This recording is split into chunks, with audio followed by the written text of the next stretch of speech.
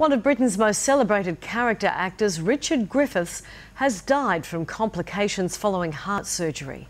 The stage and screen star played Uncle Vernon Dursley in the Harry Potter films. He was 65.